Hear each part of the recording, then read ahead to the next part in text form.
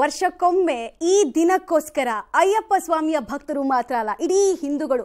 ಕೇರಳದ ಶಬರಿಮಲೆಯತ್ತ ಆಸ್ತಿಯನ್ನ ವಹಿಸಿ ಅತ್ಯಂತ ಶ್ರದ್ಧಾ ಭಕ್ತಿಯಿಂದ ಯಾವಾಗ ಮಕರ ಜ್ಯೋತಿಯ ದರ್ಶನ ನಮಗೆ ಸಿಗುತ್ತೆ ಅಂತ ಕಾಯ್ತಾ ಇರ್ತಾರೆ. ಇದಕ್ಕೆ ಸಾವಿರಾರು ವರ್ಷಗಳ ಪರಂಪರೆನೇ ಸಾಕ್ಷಿ ಆಗ್ತಾ ಇದೆ. ಸಾವಿರಾರು ವರ್ಷಗಳಿಂದ ಈ ಪರಂಪರೆ, ಈ ಸಂಪ್ರದಾಯ ಮುಂದುವರಿತಾ ಇದೆ. ಇವತ್ತು ಕೂಡ ಕೆಲವೇ ಕ್ಷಣಗಳಲ್ಲಿ ನಾವು ಮಕರ ಜ್ಯೋತಿಯ ದರ್ಶನ ಯಾವ ರೀತಿ ಆಗುತ್ತೆ? ಜ್ಯೋತಿ ಸ್ವರೂಪದಲ್ಲಿ ಅಯ್ಯಪ್ಪ ಅಂದ್ರೆ ಧರ್ಮಶಾಸ್ತ್ರ ಅಂತಾನೆ ಕರೆಯಲಾಗುವಂತಹ ಅಯ್ಯಪ್ಪ ಯಾವ ರೀತಿ ಗೋಚರಿಸ್ತಾನೆ? ಎಲ್ಲವನ್ನ ತಿಳಿಸ್ತಾ ಹೋಗ್ತೀವಿ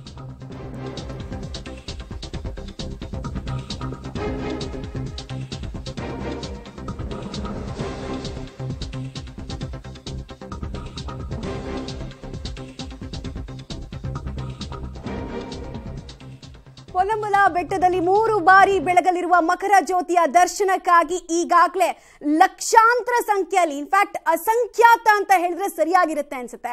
ಅಸಂಖ್ಯಾತ ಭಕ್ತಾದಿಗಳು ಈಗಾಗಲೇ ಶಬರಿಮಲೆಯತ್ತ ಸಾಗಿದ್ದಾರೆ. ಲಕ್ಷ ಲಕ್ಷ ಸಂಖ್ಯೆಯಲ್ಲಿ ಎಲ್ಲರ ಕಣ್ಣುಗಳು ಹರಿಹರ ಸುತನ ಸನ್ನಿಧಾನದಲ್ಲಿ ಹುಡುಕ್ತಾ ಇರೋದು ಒಂದೇ. ಅದು ಜ್ಯೋತಿ ರೂಪದಲ್ಲಿ ಅಯ್ಯಪ್ಪನ ದರ್ಶನ ಯಾವ ಗಳಿಗೆಗೆ ಆಗುತ್ತೆ ಅಂತ. ಬಿಕಾಸ್ ವರ್ಷದಲ್ಲಿ ಒಮ್ಮೆ ಮಾತ್ರ ನಮಗೆ ಇಂಥದ್ದೊಂದು ಬೆಳಕು, ಅದು ಬೆಳಕಲ್ಲ, ದರ್ಶನ. ಆ ದರ್ಶನ ನಮಗೆ ಕಾಣೋದಕ್ಕೆ ಸಿಗುತ್ತೆ ಅಂತ ಎಲ್ಲರೂ ಕೂಡ ಅಲ್ಲಿ ಉದ್ಘೋಷಗಳನ್ನ ಈಗಾಗಲೇ ಮುಳುಗಿಸ್ತಾ ಇದ್ದಾರೆ. ಎಲ್ಲರ ಬಾಯಲ್ಲೂ ವ್ರತಾಧಾರಿಗಳಲ್ಲಿ ಅದರಲ್ಲೂ ಕೂಡ ಕಠಿಣವಾಗಿ ನಲವತ್ತೊಂದು ದಿನಗಳ ವ್ರತ ನಿಷ್ಠೆಯನ್ನ ಪಾಲಿಸಿಕೊಂಡು ಬಂದಂತಹ ಭಕ್ತಾದಿಗಳು ಎಲ್ಲರೂ ಕೂಡ ಸ್ವಾಮಿಯೇ ಶರಣಮಯ್ಯಪ್ಪ ಅಂತ ಈಗಾಗಲೇ ಅಲ್ಲಿ ಉದ್ಘೋಷಗಳನ್ನ ಮೊಳಗಿಸ್ತಾ ಇದ್ದಾರೆ. ಈ ವಿಚಾರವಾಗಿ ನಮ್ಮ ಜೊತೆಗೆ ಮಾತನಾಡೋದಕ್ಕೆ ಹೆಚ್ಚಿನ ಡೀಟೇಲ್ಸ್ ಕೊಡೋದಕ್ಕೆ ಇಬ್ಬರು ಖ್ಯಾತ ಜ್ಯೋತಿಷಿಗಳು ನಮ್ಮನ್ನು ಈಗ ಆಲ್ರೆಡಿ ಹಿಂದಿನ ಪ್ರೋಗ್ರಾಮ್ನಿಂದ ಕೂಡ ಜಾಯ್ನ್ ಆಗಿದ್ದಾರೆ. ಕಂಟಿನ್ಯೂ ಆಗ್ತಾ ಇದ್ದಾರೆ. ಮತ್ತೊಮ್ಮೆ ವೆಲ್ಕಮ್ ಮಾಡ್ಕೊಳ್ತೀನಿ. ಖ್ಯಾತ ಜ್ಯೋತಿಷಿಗಳಾಗಿರುವಂತಹ ರೇಣುಕಾರಾಧ್ಯ ಇದ್ದಾರೆ, ಹಾಗೆ ಖ್ಯಾತ ಜ್ಯೋತಿಷಿಗಳಾಗಿರುವಂತಹ ಶ್ರೀರಾಮ್ ಭಟ್ರು ಇದ್ದಾರೆ. ರೇಣುಕಾರಾಧ್ಯ ಗುರುಜಿಗಳೇ, ನಿಮ್ಮಿಂದಲೇ ಶುರು ಮಾಡ್ತೀನಿ. ಮಕರ ಜ್ಯೋತಿಯ ದರ್ಶನ ಎಷ್ಟು ಮುಖ್ಯ? ಪೌರಾಣಿಕ ಹಿನ್ನೆಲೆಯ ಬಗ್ಗೆ ಪ್ರತಿ ವರ್ಷ ಕೂಡ ನಾವು ಮಾತಾಡ್ತಾ ಇರ್ತೀವಿ. ಈ ಸಲ ಮತ್ತೊಂದ್ಸಲ ರೀಕಾಲ್ ಮಾಡ್ಕೊಳ್ಳೋದಾದ್ರೆ. ಖಂಡಿತ.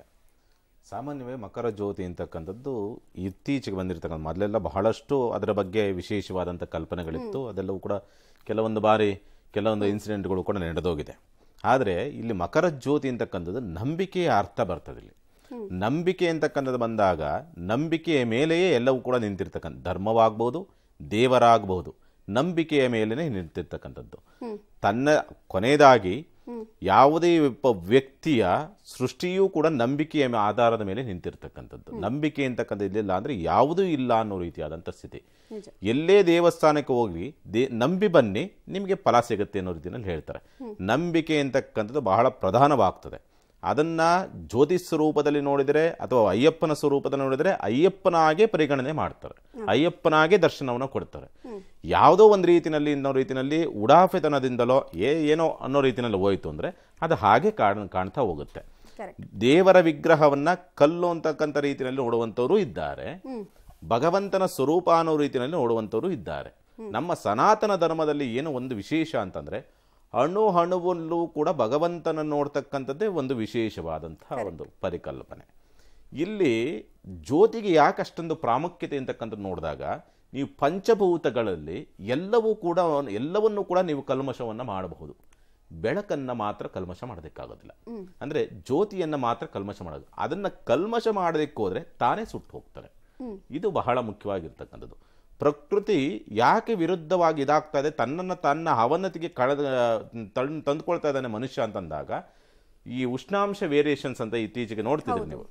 ಉಷ್ಣಾಂಶದಲ್ಲಿ ವ್ಯತ್ಯಾಸಗಳಾದಾಗ ಅಂದ್ರೆ ಆ ಉಷ್ಣಾಂಶದಲ್ಲಿ ವ್ಯತ್ಯಾಸಗಳಾದ ಜ್ಯೋತಿಯ ತಂಟೆಗೆ ಬೆಳಕಿನ ತಂಟೆಗೆ ಹೋದಾಗ ತನ್ನನ್ನ ತಾನ ಅವನತಿಯನ್ನ ತಾನೇ ತಂದುಕೊಳ್ತಾನೆ ಅನ್ನೋ ರೀತಿಯಾದಂಥ ಸ್ಥಿತಿ. ಹಾಗಾಗಿನೇ ಭಗವಂತನ ವಿರುದ್ಧವಾಗಿ ಅಥವಾ ಪ್ರಕೃತಿಯ ವಿರುದ್ಧವಾಗಿ ಹೋದಂಥ ಸಂದರ್ಭ ತನ್ನ ಅವತಿ ಅವನತಿಯನ್ನು ತಾನೇ ತಂದುಕೊಳ್ತಾನೆ. ಜ್ಯೋತಿ ಅಂದ್ರೆ ಜ್ಯೋತಿಯೇ. ದೀಪವನ್ನು ಕೂಡ ನಾವು ಯಾವ ದೇವರ ವಿಗ್ರಹ ಮತ್ತೊಂದು ಮಗದೊಂದು ಇಲ್ಲ ಅಂದ್ರೂ ಕೂಡ ಒಂದು ದೀಪವನ್ನು ಹಚ್ಚತಕ್ಕಂಥ ಪದ್ಧತಿಗಳನ್ನು ನೋಡಿದ್ದೀನಿ ಅಂದರೆ ಜ್ಯೋತಿಯನ್ನು ಹಚ್ಚತಕ್ಕಂಥ ಒಂದು ಪದ್ಧತಿ. ಜ್ಯೋತಿಗೆ ಅಷ್ಟು ಪ್ರಾಮುಖ್ಯತೆ ಇರ್ತಕ್ಕಂಥದ್ದು. ಅಲ್ಲಿ ಏನೇ ಬಿಡೋ ಬುಡಕಟ್ಟು ರೀತಿಯಲ್ಲಿ ಮಾಡ್ತಕ್ಕಂಥ ಆರಾಧನೆಯಿಂದ ಮೊದಲಿಂದಲೂ ಕೂಡ ಬಂದಿದ್ರೂ ಕೂಡ ಅದನ್ನು ಭಗವಂತನ ಸ್ವರೂಪ ಅನ್ನೋ ರೀತಿಯಲ್ಲಿ ನಂಬಿರ್ತಕ್ಕಂಥದ್ದಾಗಿರೋದ್ರಿಂದ ಭಗವಂತನ ಸ್ವರೂಪವಾಗಿ ಅದನ್ನು ದರ್ಶನ ಮಾಡದಿರ್ತಕ್ಕಂಥವ್ರಿಗೆಲ್ಲರಿಗೂ ಕೂಡ ಪರಿಪೂರ್ಣವಾದಂಥ ಒಂದು ಅನುಗ್ರಹವನ್ನು ಕೊಡೋದಕ್ಕೆ ದಾರಿಯಾಗುತ್ತೆ. ಓಕೆ ಶ್ರೀರಾಮ್ ಭಟ್ ಗುರುಜಿ ಇನ್ನು ಮತ್ತೊಂದು ವಿಚಾರ ಅಂತ ಹೇಳಿದ್ರೆ ಪ್ರತಿಯೊಬ್ಬರು ಕೂಡ ಅಯ್ಯಪ್ಪನ ಸ್ವಾಮಿಯ ದರ್ಶನವನ್ನು ಮಾಡೇ ಮಾಡ್ತಾರೆ. ಪ್ರತಿ ವರ್ಷ ಇದಾಗೆ ಆಗುತ್ತೆ. ಬಟ್ ಕಠಿಣ ವೃತಾಚರಣೆ ಅಂತ ಬಂದಾಗ ವಿಶ್ವದ ಯಾವುದೇ ಧರ್ಮದಲ್ಲೂ ಇಷ್ಟು ಕಠಿಣವಾದಂತಹ ವೃತಾಚರಣೆ ಇಲ್ಲಿ ತನಕ ನಾನು ಕೇಳಿಲ್ಲ. ಸೊ ಇಲ್ಲಿ ಯಾಕೆ ಇಷ್ಟು ಕಠಿಣವಾಗಿ ವ್ರತವನ್ನು ಆಚರಿಸಬೇಕು? ಇದರ ಫಲ ಏನು ಸಿಗುತ್ತೆ? ಇಷ್ಟು ಕಠಿಣವಾಗಿ ನಲವತ್ತೊಂದು ದಿನಗಳ ಆಚರಣೆ ಯಾಕೆ ಅನ್ನೋ ಪ್ರಶ್ನೆ ಅನೇಕರಿಗಿರುತ್ತೆ ನಮ್ಮಲ್ಲಿ ನೋಡಿ ಆಯುರ್ವೇದ ಪದ್ಧತಿ ಅಂತ ಒಂದು ಕ್ರಮ ಇದೆ. ಈಗೆಲ್ಲ ನಾವು ಹೆಚ್ಚಾಗಿ ನಮಗೆ ಥಟ್ ಅಂತ ಕಡಿಮೆ ಆಗ್ಬಿಡ್ಬೇಕು ಅಲ್ವಾ? ಇವತ್ತು ಜ್ವರ ಬಂದಿದೆ ಅಂದ್ರೆ ನಾಳೆ ಬೆಳಿಗ್ಗೆ ನಾನು ಆಫೀಸಿಗೆ ಹೋಗಲೇಬೇಕು. ಏನ್ ಮಾಡ್ತಿರೋ ಗೊತ್ತಿಲ್ಲ ಡಾಕ್ಟ್ರೆ ನಂಗೆ ನಾಳೆ ಆರಾಮ್ ಮಾಡ್ಕೊಡಿ ಅಂತ ಹೇಳ್ತಾರೆ. ಅದನ್ನ ಅಲೋಪಥಿ ಕ್ರಮ ಅಂತ ಹೇಳ್ತಾರೆ ಇದು ಆಯುರ್ವೇದ ಕ್ರಮದಲ್ಲಿ ನೋಡಿ ಮನುಷ್ಯನ ಶರೀರ ಶುದ್ಧವಾಗಿರಬೇಕು ಮನಸ್ಸು ಶುದ್ಧವಾಗಿರಬೇಕು ಅಂತಂದ್ರೆ ನೋಡಿ ಆಯುರ್ವೇದದಲ್ಲಿ ಹಲವಿಷ್ಟು ಕ್ರಮ ಕೆಲವಿಷ್ಟು ಕ್ರಮಗಳನ್ನು ಹೇಳ್ತಾರೆ. ದೈವಿಕವಾಗಿ ಮತ್ತೆ ಮಾನಸಿಕವಾಗಿ. ಮನಸ ವಾಚ ಕರ್ಮಣ ಹಸ್ತಾಭ್ಯಾಂ ಪದ್ಭ್ಯಾಂ ಉದರೇಣ ಶಿಷ್ಣ. ಇಷ್ಟು ಆರು ವ್ಯವಸ್ಥೆಯಿಂದ ನೋಡಿ ಷಡ್ ವೈರಿಗಳು ಷಡ್ವೈರಿಗಳು ಅಂತ ಹೇಳ್ತೇವೆ ಅಲ್ವೇ? ಕಾಮ ಕ್ರೋಧ ಲೋಭ ಮೋಹ ಮದ ಮತ್ತೆ ಮತ್ಸರ. ಈ ಷಡ್ವೈರಿಗಳು ಈ ಆರು ವ್ಯವಸ್ಥೆಯಿಂದಲೇ ಆಗುವಂಥದ್ದು. ಅಲ್ವಾ? ನೋಡಿ ಕಾಮವಾದ ಕಾಮಭಕ್ಷಣ ಕಾಮ ಅದನ್ನು ಅವಾಗ ಹೇಳಿದೆ ನಾನು. ಅದ್ರ ವಿವರಣೆಯನ್ನು ಅವಾಗ ಹೇಳಿದೆ. ಈಗ ನಮ್ಮಲ್ಲಿ ಚಾಂದ್ರಾಯಣ ಕ್ರಮ ಅಂತ ಒಂದು ಇದೆ. ರಾಜಮನೆತನದಿಂದ ತರುವಂತಹ ತಿರುವಾಭರಣಕ್ಕಾಗಿ ಎಲ್ಲರೂ ಕಾಯ್ತಾ ಇದ್ದಾರೆ ಒಮ್ಮೆ ಆದ್ರೂ ಅದನ್ನ ಮುಟ್ಟಿದ್ರೆ ಸಾಕು. ನಮಗೆ ಸಂಜೀವಿನಿಯನ್ನೇ ತಿಂದಷ್ಟು ಶಕ್ತಿ ಬರುತ್ತೆ ಅನ್ನೋ ನಂಬಿಕೆ ಆಸ್ತಿಕ ವರ್ಗದ್ದಾಗಿದೆ. ಹೀಗಾಗಿ ಅದನ್ನ ಮುಟ್ಟೋ ಪ್ರಯತ್ನವನ್ನು ಮಾಡ್ತಾರೆ. ನೋಡಿ ಅದನ್ನ ತುಂಬಾ ಭದ್ರತೆಯಲ್ಲಿ ತರ್ತಾರೆ. ಪಂಬಾತನಕ ತುಂಬಾ ಭದ್ರತೆಯಲ್ಲಿ ಅದನ್ನ ವಾಹನದಲ್ಲಿ ತರ್ತಾರೆ. ಅದಾದ ನಂತರ ಹೆಗಲಲ್ಲಿ ಹೊತ್ತುಕೊಂಡು ಆ ತಿರುವಾಭರಣವನ್ನ ಅಯ್ಯಪ್ಪನ ಸನ್ನಿಧಾನಕ್ಕೆ ತರ್ತಾರೆ. ಇದನ್ನ ಸಾವಿರಾರು ವರ್ಷಗಳಿಂದ ಮಾಡ್ಕೊಂಡು ಬರ್ತಾ ಇರುವಂತಹ ಐತಿಹ್ಯ. ಇನ್ಫ್ಯಾಕ್ಟ್ ಹದಿಮೂರನೇ ಶತಮಾನದಿಂದ ಕೂಡ ಅಲ್ಲಿ ಇದೇ ರೀತಿಯಾದಂತಹ ಆಚರಣೆ ಇತ್ತು ಅಂತ ಹೇಳಲಾಗುತ್ತೆ. ಗುರುಜಿ, ಈಗ ತಿರುವಾಭರಣದ ಬಗ್ಗೆನೇ ಮಾತಾಡ್ಬಿಡೋಣ. ವಿಜುವಲ್ ಕರೆಕ್ಟ್ ಆಗಿದೆ ನಮಗೆ, ಪ್ರಸ್ತುತವಾಗಿದೆ. ಸೊ ತಿರುವಾಭರಣವನ್ನ ವರ್ಷದಲ್ಲಿ ಒಂದು ಸಲ ಮಾತ್ರ ಯಾಕೆ ಧರಿಸ್ತಾರೆ ಅಯ್ಯಪ್ಪನಿಗೆ? ವರ್ಷದ ಮುನ್ನೂರ ಅರವತ್ತೈದು ದಿನ ಯಾಕಿಲ್ಲ ಅನ್ನೋ ಪ್ರಶ್ನೆ ಇದೆ. ನೋಡಿ ಎಲ್ಲ ಕ್ಷೇತ್ರದಲ್ಲಿ ಎಲ್ಲ ಪ್ರಸಿದ್ಧವಾದಂತಹ ಒಂದು ದೇವರ ದೇವರಲ್ಲಿಯೂ ಕೂಡ ಈ ಒಂದು ಪರಿಕಲ್ಪನೆಗಳು ಇರುತ್ತೆ. ಅದನ್ನ ವಿಶೇಷವಾಗಿ ಹೇಳ್ತಾ ಇರೋದಿಲ್ಲ. ನೋಡಿ ತಿರುಪತಿಯಲ್ಲಿಯೂ ಕೂಡ ಎಲ್ಲ ಆಭರಣವನ್ನು ಪ್ರತಿದಿನ ತೊಡಸೋದಿಲ್ಲ ಅಲ್ವೇ?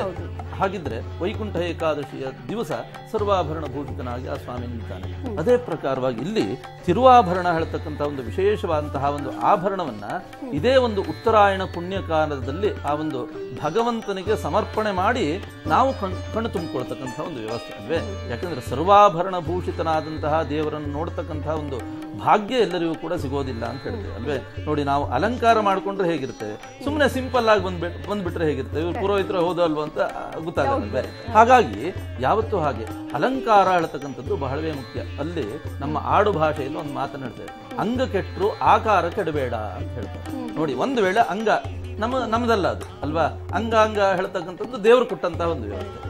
ಆದರೆ ಈ ಆಕಾರ ಅಂತಂದ್ರೆ ಏನು? ನಾವು ಕಪ್ಪಗಿದ್ರೂ ಬೆಳ್ಳು ಮಾಡ್ಕೊಳ್ಬಹುದು ಇವತ್ತಿನ ವ್ಯವಸ್ಥೆ. ಕಪ್ಪು ಕೂದಲಾದರೂ ಅದನ್ನು ಬೆಳ್ಳಗೆ ಮಾಡ್ಕೊಳ್ಬಹುದು ಅದೇ ಪ್ರಕಾರ ಪ್ರಕಾರವಾಗಿ ಇಲ್ಲಿ ಸರ್ವಾಭರಣ ಭೂಷಿತನಾದಂತಹ ದೇವರನ್ನು ನೋಡ್ತಕ್ಕಂಥದ್ದು. ಅದಕ್ಕೋಸ್ಕರವಾಗಿ ಕವಚವನ್ನು ಹಾಕ್ತಕ್ಕಂಥದ್ದು. ಇದೆಲ್ಲ ಕ್ರಮ ಇದೆ. ಈ ಸಣ್ಣ ಪುಟ್ಟ ದೇವಸ್ಥಾನದಲ್ಲೂ ಏನೋ ಒಂದು ವಾರ್ಷಿಕೋತ್ಸವ ಆಯಿತು. ಅಥವಾ ಏನೋ ಒಂದು ಆ ಆ ದೇವರ ಸಂಬಂಧಿತವಾದಂತಹ ಒಂದು ವರ್ಷಂ ಪ್ರತಿ ಮಾಡತಕ್ಕಂತಹ ಒಂದು ಉತ್ಸವದಲ್ಲಿ ಅಲ್ಲಿ ಕವಚವನ್ನು ದೇವರಿಗೆ ಧಾರಣೆಯನ್ನು ಮಾಡ್ತಾರೆ. ಅದೇ ಪ್ರಕಾರವಾಗಿ ಇಲ್ಲಿಯೂ ಹಾಗೆಯೇ ಅದು ವಿಶೇಷವಾದಂತಹ ವಜ್ರ ವೈಢೂರ್ಯಾದಿಗಳಿಂದ ಅಥವಾ ಹಲವು ರೀತಿಯಾದಂತಹ ತುಂಬಾನೇ ಆ, ಬೆಲೆ ಬಾಳತಕ್ಕಂತಹ ರತ್ನಗಳಿಂದ ಮಾಡಲ್ಪಟ್ಟಂತಹ ಆಭರಣವಾದ್ದರಿಂದ ಅದನ್ನೆಲ್ಲ ತುಂಬಾ ಸೆಕ್ಯೂರ್ಡ್ ಆಗಿ ಇಡಬೇಕಾಗುತ್ತೆ. ಅಂತಹ ವ್ಯವಸ್ಥೆಯಲ್ಲಿ ವರ್ಷದಲ್ಲಿ ಒಮ್ಮೆ ಆ ಒಂದು ಸ್ವಾಮಿಗೆ ಹಾಕಿ ಆ ಒಂದು ಸ್ವಾಮಿಯ ದರ್ಶನವನ್ನು ನಾವು ಪಡೆಯತಕ್ಕಂಥದ್ರಿಂದ ಕೃತಾರ್ಥರಾಗ್ತೇವೆ ಹೇಳ್ತಕ್ಕಂಥ ಒಂದು ವಿಶೇಷವಾದ ಭಕ್ತಿ ಮತ್ತು ಭಾವದಿಂದ ಈ ರಾಜಮನೆತನದವರು ಇದನ್ನು ನಡೆಸ್ಕೊಂಡು ಬಂದಂತಹ ಒಂದು ಕ್ರಮಗಳಿದೆ. ಇಲ್ಲಿ ಮೈಸೂರಿನಲ್ಲೂ ಹಾಗೆ ನೋಡಿ. ಸದಾಕಾಲ ನಮಗೆ ಆ ಇದು ಅಂಬಾರಿ ಕಾಣಿಸೋದಿಲ್ಲ ಅಲ್ವೇ? ಸಾಧಾರಣವಾಗಿ ಈ ಸಮಯದಲ್ಲಿ ಯಾವಾಗ ನವರಾತ್ರಿ ಆ ಸಂದರ್ಭದಲ್ಲಿ ಅದನ್ನ ಕಾಣಲ್ಪಡ್ತೇವೆ. ನಾವು ದೇ ದೇವಿಗೂ ಹಾಗೆ. ಅಂತಹ ಆಭರಣವನ್ನು ಆ ಸಮಯದಲ್ಲಿ ನೋಡ್ತೇವೆ ಅಂತಂದ್ರೆ ಖಂಡಿತವಾಗಿಯೂ ಅಂತಹ ಪರ್ವಕಾಲಗಳಲ್ಲಿ ಆ ಶಿವನ ಸ್ವರೂಪನಾದಂತಹ ಧರ್ಮಶಾಸ್ತ್ರನಾದಂತಹ ಈ ಸ್ವಾಮಿಯ ಅಯ್ಯಪ್ಪನನ್ನು ಆ ಒಂದು ರೀತಿಯಲ್ಲಿ ಕಣ್ಣು ತುಂಬಿಕೊಳ್ತಕ್ಕಂಥದ್ರಿಂದ ಅನಂತ ಕೋಟಿ ರೂಪವಾದಂತಹ ಒಂದು ಪುಣ್ಯಗಳು ಭಕ್ತಾದಿಗಳಲ್ಲಿ ಇದೆ ಹೇಳ್ತಕ್ಕಂಥದ್ದನ್ನು ನಾವು ಚಿಂತನೆ ಮಾಡಬೇಕು. ಇನ್ನೆಲ್ಲರೂ ಕೂಡ ಮುಟ್ತಕ್ಕಂತಹ ಒಂದು ವ್ಯವಸ್ಥೆ. ಅಲ್ವಾ? ಮುಟ್ತಕ್ಕಂಥದ್ದು ಯಾಕಪ್ಪ ಅಂತಂದರೆ ಅಂತಹ ದೇವರು ತೊಟ್ಟಂತಹ ಆಭರಣವನ್ನು ನಾವು ಮುಟ್ಟಿದ್ರೆ ಸಾಕ್ಷಾತ್ತಾಗಿ ಹೋಗಿ ದೇವರನ್ನು ಮುಟ್ಟ ಮುಟ್ತಕ್ಕಂಥ ವ್ಯವಸ್ಥೆ ಎಲ್ಲರಿಗೂ ಕೂಡ ಸಾಧ್ಯವಾಗುವುದಿಲ್ಲ ಸ್ಪರ್ಶದ ಒಂದು ವ್ಯವಸ್ಥೆಗಳು ಇರೋದಿಲ್ಲ. ಅಂತಹ ಸಂದರ್ಭದಲ್ಲಿ ಕನಿಷ್ಠ ಪಕ್ಷ ಆ ದೇವರು ತೊಟ್ಟಂತಹ ಆ ಆಭರಣಗಳನ್ನಾದರೂ ನಾವು ಮುಟ್ಟಿದರೆ ನಾವು ಪುನೀತರಾಗ್ತೇವೆ, ಪವಿತ್ರರಾಗ್ತೇವೆ ಹೇಳ್ತಕ್ಕಂಥ ಒಂದು ವಿಶೇಷವಾದಂತಹ ಭಕ್ತಿಯೇ ಇಲ್ಲಿ ಪ್ರಧಾನ.